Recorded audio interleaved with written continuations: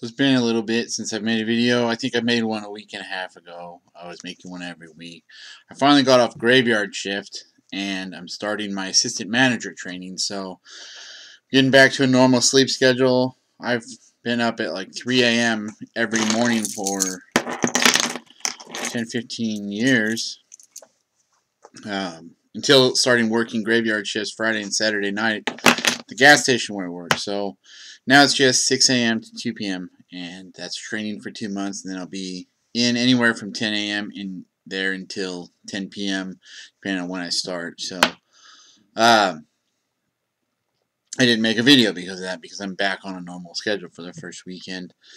And we had this situation. Now, this guy was not being rude or anything other than what the situation was when he got there. Um, I mean, you might consider it pretty rude what he was trying to do. Uh, he showed up pre- pretty much. He showed up one graveyard shift after my swing shift at like two in the morning, and there was some other person there with him. He left the car at the pump. She left the key fob at the counter or something, and then another customer saw him he was all loaded like on some opiate pills or heroin. Um, and took the key fob but no one like saw them take it like we just knew i guess it was set down there and then somebody took it so for three days this guy's car was at the pump and like for at the first day it was a sunday and so we just kind of like let it sit there all day. We're like well this is weird. You lost your key fob. You know? This graveyard shift guy just gets off and leaves. He's like man whatever retardation is going on you just leave because there's always some it's not always some stupid overnight thing going on that's this type of stupid but there's usually just it's a 24 hour business. You just leave. And he gets back and the guy's still there and we're like what? What's this guy doing here all day? And then the next day rolls around we're like what? What's this guy doing here all day? It was sunday and I guess the um, the manager like we weren't doing anything at first, and the second day we're like, "Well, you got you sure you can't tow it?" And he's like, "Nah, I gotta, I gotta, I gotta find the key fob mechanic tow truck company to come out to like access the key fob to put it in neutral because it's electric." It was like this whole set of things, and he was making all these phone calls. And meanwhile, so and then finally the manager goes, "Well, no, we we need to, we're gonna we're gonna have it towed." So they call the police. The police show up and he and they go, "Well, we can't actually tow it from the pump because the pump is like some other part of the law rather than one of the parking spots." It's this weird little thing. So they said, "But we can tag it right now, and then in 72 hours we can tow it." So he's just like sitting there, and then they look at him. They're like, "Oh, are you kicking on heroin? Are you scratching because your blood itches?"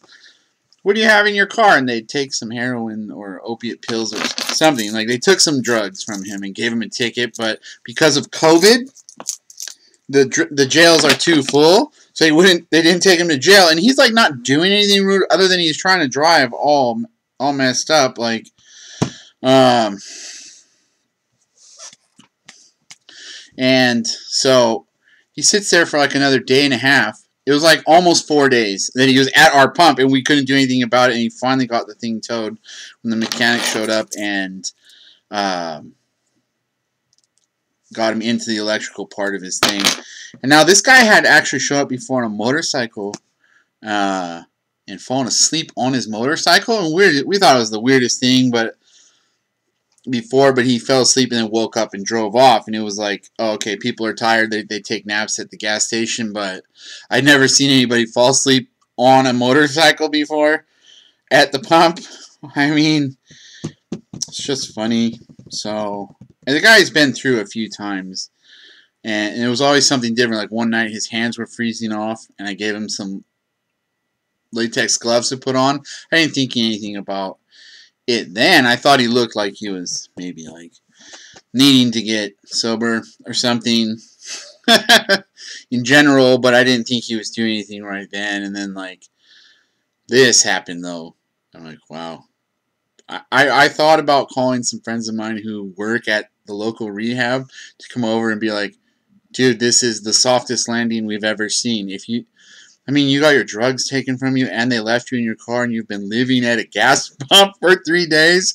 If you think that this isn't textbook unmanageability of your life situation, I don't know what is. But if you would like to get clean and sober, here's our phone number. We, we work at the rehab. You qualify, man. You qualify. It's that type of thing. Like, he, I would, it would be awesome to see that guy actually make that decision right now. But he, they told him away. His mom had to come over from a few cities away and bail him out. He, she shows up and we're like, dude, why didn't you call her earlier? Like, what, you're trying to not embarrass yourself or something? Like, okay, whatever. So as he's leaving, you were, he was kind of like this, hey, see you later, guy. Like, it was so the most out of the ordinary thing that everybody just acted like, oh, yeah, this is, yeah, yeah, yeah, here, charge your phone and come in and buy chocolate itching and eating chocolate.